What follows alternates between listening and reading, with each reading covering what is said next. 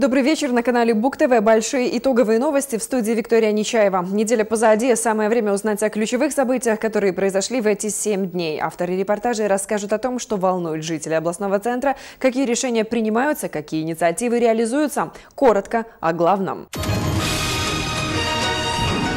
О технологиях и эксклюзивах самые интересные планы о проведении четвертого национального форума музеев. Открыто и откровенно практика проведения открытых диалогов с молодежью продолжена помощником президента, инспектором по Брестской области Анатолием Маркевичем. Не слышу, но чувствую. День людей, имеющих нарушение слуха, отмечают на текущей неделе.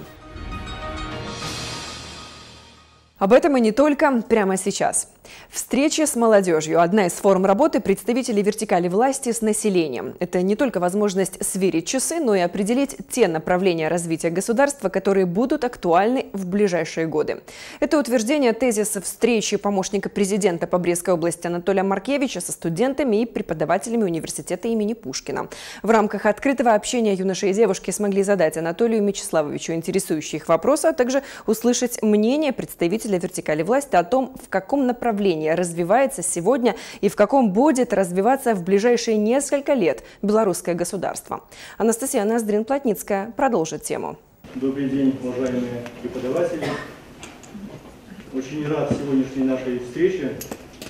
Вы знаете, переступал университетский порог с определенным чувством волнения, потому что последний раз был в стенах родного учебного заведения 26 лет назад, Конечно же, за это время очень многое изменилось, но я считаю, неизменным остался дух творчества, науки, желание сеять разумное, доброе и вечное. С первых фраз Анатолия Маркевича было понятно, диалог получится достаточно открытым и откровенным. Пушкинский университет – альма-матер помощника президента. С этим учебным заведением у него связано большое количество приятных и важных воспоминаний, которые помогли сформироваться как личности и сегодня занимать достаточно высокий пост. В своей речи Анатолий Маркевич в первую очередь обратил внимание на значение образования в жизни человека и как много определяет грамотная кадровая политика в школах, в университетах, в органах государственной власти. Я хочу сказать, что в Брестской области вот данному направлению уделяется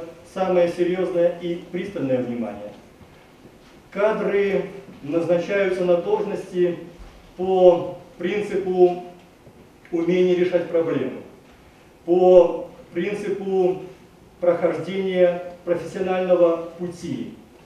И благодаря данному аспекту и многим другим факторам сегодня Брестская область является лидером по очень многим позициям. И это радует. Более часа продолжалась дискуссия, в рамках которой Анатолий Маркевич отвечал на вопросы, спрашивал у студентов их мнение в отношении отдельных социальных явлений. Диалог получился достаточно многоплановым и, что немаловажно, открытым. Пусть свободного времени в насыщенном графике помощника президента не так много, общение со студентами – особый пункт. Мы всегда сверяем свой курс с молодежью.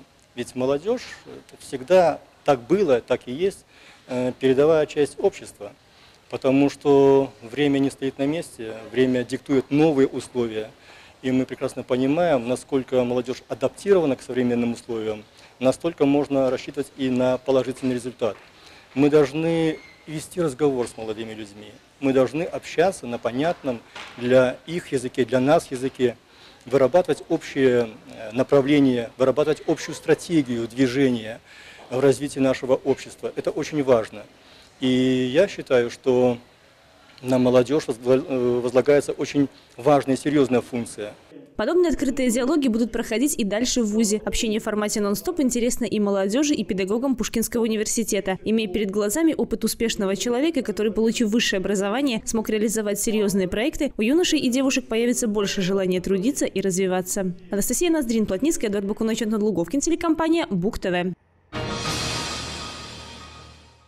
Активные, инициативные, деятельные представители первичных ветеранских организаций города собрались на заседание на текущей неделе. На повестке дня большое количество вопросов.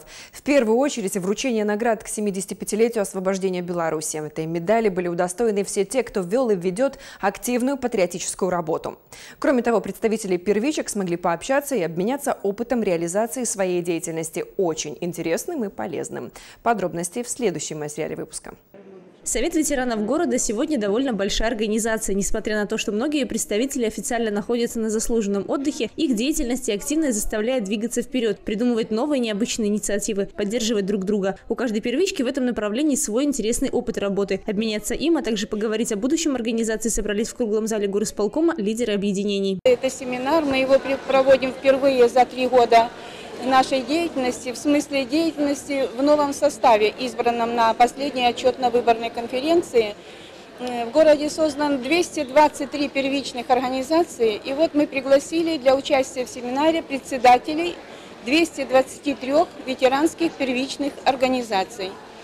Э, цель семинара, и это все в семинаре у нас прозвучит, это обобщить опыт лучших первичных ветеранских организаций и рекомендовать их для использования в работе всем остальным председателям. Сегодня ветеранские организации проводят большую работу с молодежью, при этом активно занимаются поддержкой седовласых героев Великой Отечественной войны. Вместе с представителями вертикали власти, дипломатическими миссиями, общественными организациями руководство Совета проводит большое количество мероприятий, важных и нужных этим людям. В городской ветеранской организации 43 800 человек. У нас очень крупная ветеранская организация. Это 57 процентов охвата, потому что если исходить из того, что пенсионеров в городе 77 тысяч, а нас 43 800, то охват ветеранским движением составляет 57 процентов. Поэтому речь идет о социальной защите тех, кто в этом нуждается, в оказании различного рода помощи. Сегодня средний возраст ветерана Великой Отечественной войны 95 лет. Если раньше они решали самые обычные бытовые проблемы самостоятельно, то сейчас им требуется помощь. Это сиделка, это соцработник, это ремонт телевизора, это уборка двора от снега, это покос травы и так далее. И мы э, в эти все вопросы включаемся, естественно, с помощью председателей первичных ветеранских организаций. Конечно, одним из самых торжественных моментов мероприятия стало вручение наград к 75-летию освобождения Беларуси от немецко-фашистских захватчиков. Каждый, кто в этот день выходил на сцену, проводит большую патриотическую работу с молодежью, активно участвует в жизни города. Мы переживаем, в чьи руки перейдет страна, да? Так, если крупно говорить серьезно, и без заискиваний, потому что это и вправду э, вопрос жизни и смерти любого государства, любого народа, насколько последующие поколения будут преданы тем идеям, которым служили их отцы и деды. Вот. Что для этого делают значит, ну, не только, скажем, лично, да, или только члены комиссии, но в целом ветеранский состав нашего, нашего района, это встречи, прежде всего, с молодежью, и начиная со школьников. Да, практически в каждой школе кто-то из ветеранов, и мне лично тоже доводится бывать, и нас приглашают. Часто мы сами инициативу проявляем. Курс большой организации Совета ветеранов города один – сделать все возможное, чтобы жизнь людей, отправляющихся на заслуженный отдых, была достойной их возраста, их положения, их жизненной позиции. И то, что так будет, сомнений не вызывает. Ведь каждый из тех, кто входит в ветеранское движение, душой болеет за эту миссию и делает все возможное, чтобы быть активным и инициативным для своего коллектива. Анастасия Ноздрин, Плотницкая, Эдуард Букунович, Луговкин. Итоги недели. К другим темам.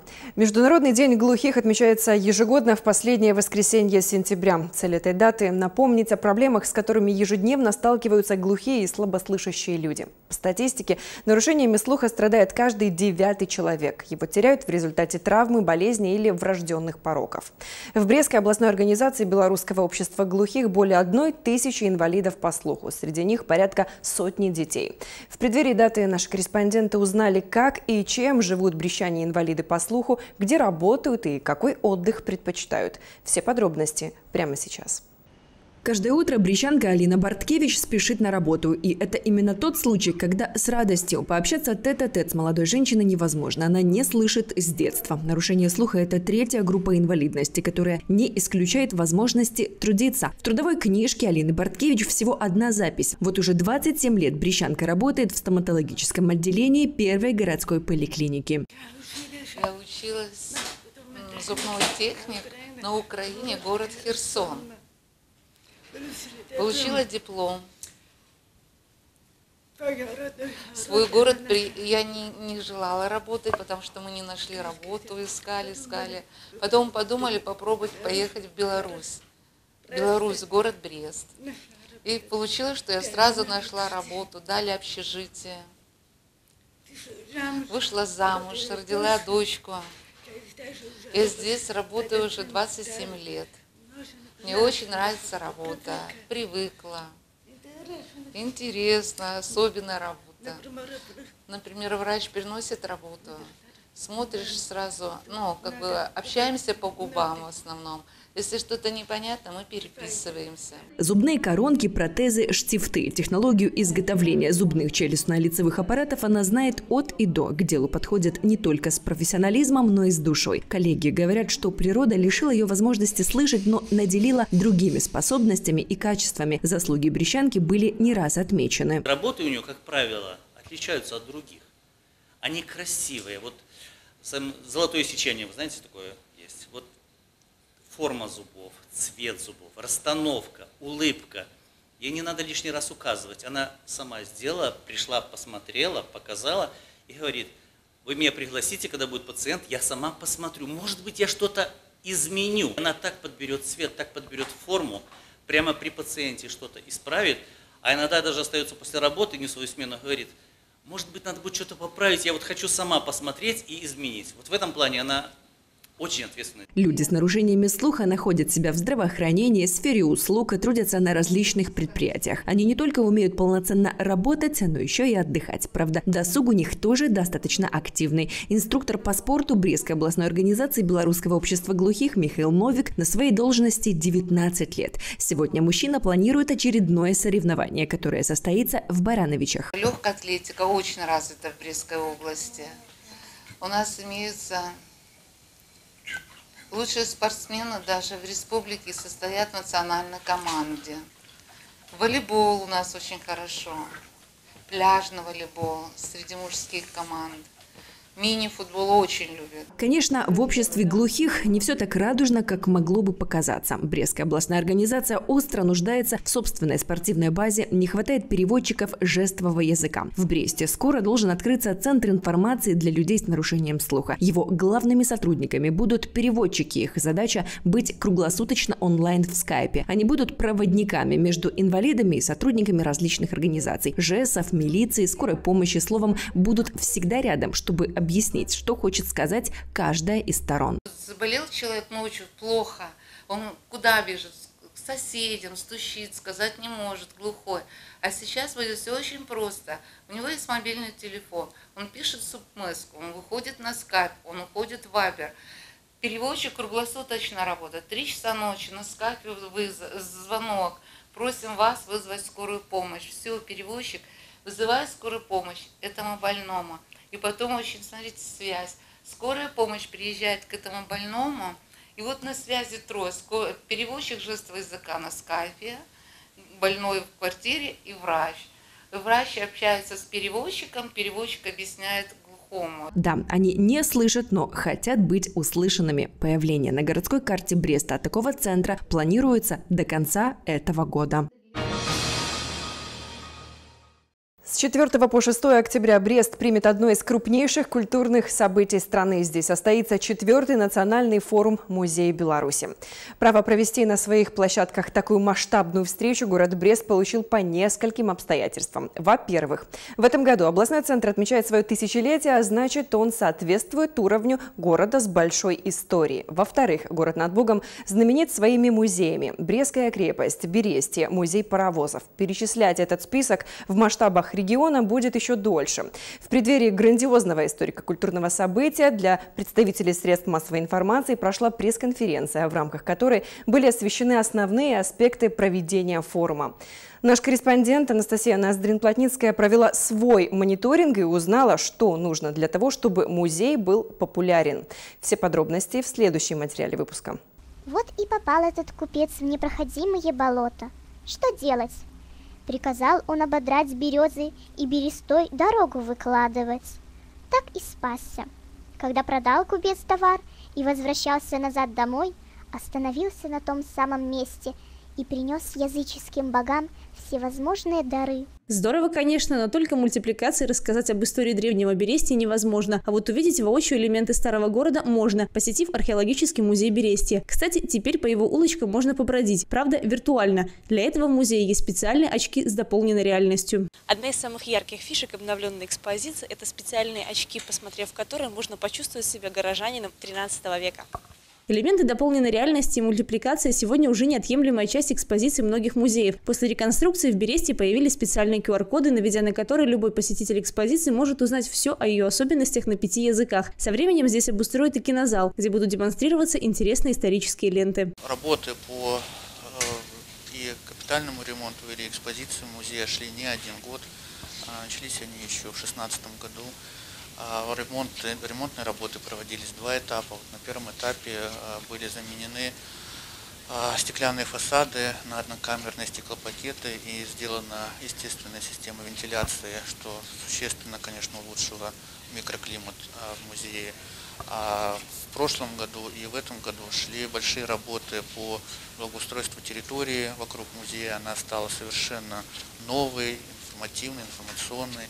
Появились э, новые э, стенды с информацией о истории Бреста и Брестского замка после 13 века. Музей Берестия стал площадкой проведения пресс-конференции для представителей средств массовой информации по вопросам организации четвертого национального форума. Такое масштабное событие бесспорно соберет огромное количество увлеченных историй ученых и краеведов. Конечно, главная цель мероприятия – наладить более тесное взаимодействие между учреждениями культуры страны, поделиться наработками, обменяться идеями. Кроме того, в рамках форума состоится конкурс будут названы самые интересные коллекции страны. Увидеть это сможет любой желающий. Вход на мероприятие, которое, к слову, пройдет на территории областной специализированной детско-юношеской школы Олимпийского резерва, будет открытым. 4 по 6 октября состоится четвертый национальный музейный форум, в котором примут участие более 120 музеев э, Республики Беларусь. Это национальные, республиканские музеи, музеи районные, музеи городские. То есть э, за, в эти три дня будут показаны практически все музеи нашей страны. Ну и будет проходить форум под таким девизом, что э, музей, э, наука, инновация, коммуникация. Активное участие в форуме примет и один из самых популярных комплексов Бреста – Священная цитадель. Практически каждые два года здесь открываются новые экспозиции, рассказывающие о жизни крепости, вехах ее зарождения, людях, живших на ее территории. По мнению директора мемориала Григория Басюка, при формировании экспозиции сегодня нужно уделять внимание и технологиям, и исторической составляющей. Мы живем в современном мире и наряду с э, традиционными музейными технологиями надо использовать, но так очень аккуратно, мне кажется, подходить к э, инновациям и новым музейным технологиям э, сегодня. Не хотелось бы превращать, ну не скажу, что это у нас повсеместно, но иногда встречаешь, когда в музейных экспозициях или да, в музеях очень много современных технологий, которые, наверное, не всегда дают возможность сосредоточиться на каком-то предмете, на каком-то документе историческом важном. Да, молодежи интересны и видео, и гаджеты, и прочее использование. Это надо, но, может быть, я скажу, дозированно это подавать. Удивить планирует своих гостей Музей истории города. Да, именно его фонды совсем недавно пополнила уникальная Брестская Библия. Но не только это приятно порадует посетителей. Сегодня рядом с аутентичными экспонатами 18-19 начала 20 веков соседствует высокотехнологичное зеркало, которое выполняет не только эстетическую функцию. Уникальная IT-новинка рассказывает о моде Брест-Литовска на рубеже веков. Не случайно в нашем музее появились такие инновационные решения некоторых экспонатов, э, как, допустим, вот такое интерактивное зеркало зеркало, э, глядя в которое оно выполняет и функциональное свое предназначение, это просто зеркало, но если посетитель проходит мимо него, на движение оно срабатывает, и там можно увидеть наших горожан, живущих, э, живших в нашем городе. Одно из главных музейных событий пройдет в городе с 4 по 6 октября. Не упустите возможность прикоснуться к удивительному и уникальному. Анастасия Ноздрин, Плотницкая, Павел Малашонок, Эдуард Букунович, Антон Луговкин. Специально для итоговой программы. Мировая общественность 28 сентября отмечает Всемирный день борьбы с бешенством. По данным Всемирной организации здравоохранения, оно регистрируется более чем в 150 странах мира. Республика Беларусь не исключение. Большое внимание ветеринары и эпидемиологи уделяют выявлению фактов бешенства. Что нужно знать об этом заболевании, как уберечь себя и своих любимцев, расскажут наши корреспонденты. Бешенство – вирусное заболевание, поражающее домашних и диких животных. Этому подвержены все теплокровные – коты, собаки, еноты, мыши и другие. Оно передается животным и человеку посредством тесного контакта со слюной зараженных животных. Когда симптомы болезни развиваются, бешенство, к сожалению, имеет стопроцентный летальный исход. В 2019 году за первое полугодие только зарегистрировано случаев укусов от э, животных 286. А, из них детей до 14 лет пострадало 67 от укусов. А, притом от э, известных э, животных э, число случаев укусов составило 165, от неизвестных 121. А, в 2019 году на территории города Бреста случаев бешенства среди животных не было зарегистрировано, а вот в Брестском районе у нас был один случай бешенства лабораторно подтвержденный, у дикой лисы. Прививка от бешенства является единственной необходимой вакциной, которую люди должны делать своим животным. Данная процедура особенно необходима охотничьим животным и тем, кто живет в зоне, прилегающей к лесным массивам. Прививать животное следует ежегодно, но если вдруг вашего любимца укусили, есть перечень необходимых манипуляций. В первую очередь, что нужно делать, это обратиться в государственную ветеринарную станцию. Значит, животное должно быть подвергнуто какому-то карантину. Значит, самостоятельно нужно удостовериться, что у вас не было никакой э, никакого контакта со слюной животного, там, с открытыми вашими ранами, чтобы оно точно там вас никак не кусало, не царапало, ничего с вами не делало. Вот. Э, животное ну, помещается на карантин там, в течение 10 дней, потому что обычно развиваются клинические признаки именно за это время. Вот. Ну и если э, можно сделать какие-то профилактические вакцинации, они, конечно, делаются. Не случайно в ветеринарную клинику брещанин Алексей привел своего верного друга и помощника пса по кличке Бакс. На вакцинацию они приходят раз в год на протяжении нескольких лет. Обязательная процедура для каждой собаки, для любой воспитанной, там, которая спокойная собака, для любой, я считаю, это нужная процедура, потому что раз в год это, проходим это мероприятий. Безусловно, осведомленность горожан радует и дает право сделать позитивный прогноз на будущее. Прививая свое животное, вы делаете осознанный вклад в создание безопасного общества. Ирина Кузьмич, Павел Малашонок, Григорий Пекарский, Антон Луговкин, телекомпания Бук ТВ. Вы смотрите программу «Итоги недели» на Бук-ТВ. Говорим об актуальном. В конференц-зале Брестского областного центра Олимпийского резерва по гребле состоялась торжественная встреча ветеранов спорта, заслуженных тренеров БССР, Республики Беларусь, чемпионов и призеров Олимпийских игр, выдающихся спортсменов Брестской области. Мероприятие приурочено к тысячелетию города, предшествовал праздничной встрече, семинар-совещания, который провели руководители и активы ветеранских организаций области, ветераны физической культуры и спорта. С подробностями Ирина Ирина Кузьмич. В рамках заседания в зале собрались заслуженные ветераны спорта, тренеры Беларуси, учащиеся Олимпийского резерва и многие другие. Такое совещание давно приобрело статус традиционного. На семинаре участниками обсуждались актуальные проблемы спорта и их решения, рассматривались организационные вопросы и происходил обмен мнениями. Участники семинара э, составлен так маршрут, что мы проедем по всем объектам, которые были приурочены э, вот к празднованию тысячелетия. Это и западный обход, это и набережная, это мы посетим э, училище Олимпийского резерва, футбольный манеж, прекрасный фонтан возле Э, кинотеатра «Беларусь» и ряд, ряд объектов. Торжественная часть мероприятия началась после посещения спортивных и городских объектов. Брестский областной центр Олимпийского резерва по гребле собрал в конференц-зале заслуженных тренеров БССР, ветеранов спорта Республики Беларусь, выдающихся спортсменов Брестской области. Чествование таких известных людей, как Сергея Макаренко, Леонида Тараненко, Бориса Исаченко, Наталья Егела и многих других проходило под шумные аплодисменты зрителей. А поздравлял их заместитель председателя Брестского облсполкома Геннадий Борисюк. Брест – это спортивная столица, благодаря своей инфраструктуре, которая сделана, объектов, об этом мы все тоже хорошо знаем. Я бы сказал, что вот сегодняшнее мероприятие – это составляющая часть.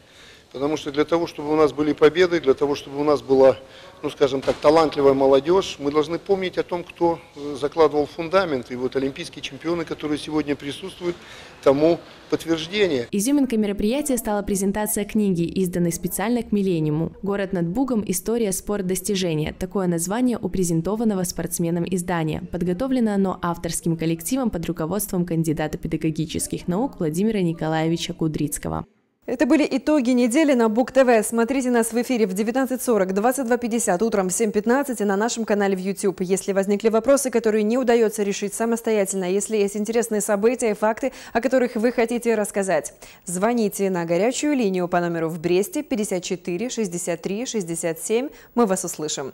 А прямо сейчас о погоде на ближайшие дни. Я, Виктория Нечаева, с вами прощаюсь. Пусть новости в ваших домах будут только добрыми. 29 сентября погоду города Бреста будет определять область повышенного атмосферного давления. На большей части территории пройдут кратковременные дожди. Ночью и утром слабый туман. Ветер юго-западный, умеренный, днем порывистый. Температура воздуха в ночные часы плюс 10, плюс 12. Днем столбики термометров поднимутся до отметки плюс 17. 30 сентября на большей части территории дожди. Ветер южный, юго-западный, умеренный. Днем порывистый. Температура воздуха ночью плюс 12 12 плюс 14. Днем столбики термометров поднимутся до отметки плюс 18.